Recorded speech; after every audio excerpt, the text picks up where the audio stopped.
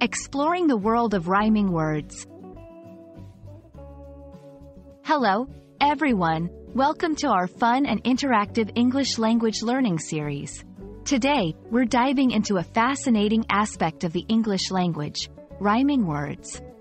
Rhymes add a musical quality to language and are essential in poetry, songs, and everyday speech. Let's explore what rhyming words are and how they can enhance your English skills. Rhyming words are words that have a similar ending sound. They are often used in poetry and songs to create a rhythmic and harmonious effect. For instance, cat and hat, moon and spoon, and light and night are all examples of rhyming words. Rhymes can be simple or complex, but they all share this common feature of similar ending sounds. 1. Perfect rhymes. These are words that have exactly the same ending sounds, like rain and pain. 2. Near rhymes. These words have similar but not identical sounds, such as love and move. 3. Eye rhymes. These words look like they should rhyme because of their spelling, but the pronunciation is different. For example, bow and rough. 4. Identical rhymes. Words that are spelled and pronounced the same, but have different meanings, like bear, the animal, and bear, to carry.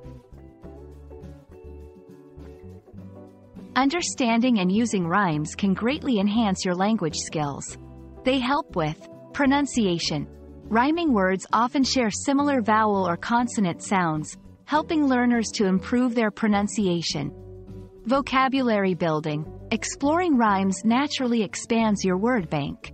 Memory and recall. Rhymes are easier to remember, aiding in memorization of new words.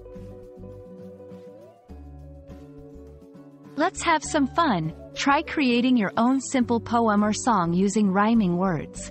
Start with a pair of rhyming words, like star and far, and build a few lines around them. You'll see how rhymes can make language learning more enjoyable and effective. Rhymes are a delightful and useful part of the English language, offering both a challenge and a tool for learners.